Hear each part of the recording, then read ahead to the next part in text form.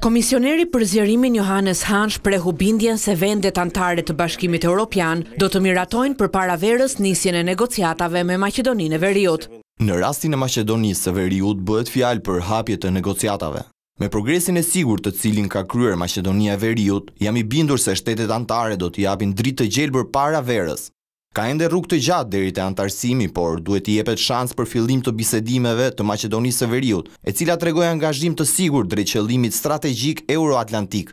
Edhe kryeministri Zoran Zaev e quajti një opsion real çeljen e negociatave në qershor. Pres që data për fillimin e negociatave të jepet këtë verë. Është e qartë se në qershor vështirë të arrihet, për shkak se Bundestagu gjerman ka seancë midis tre e gjashtë qershorit, edhe pse nëse bëhen përpjekje më të mëdha nga Gjermania si mik i madh, kjo do të ishte e mundshme.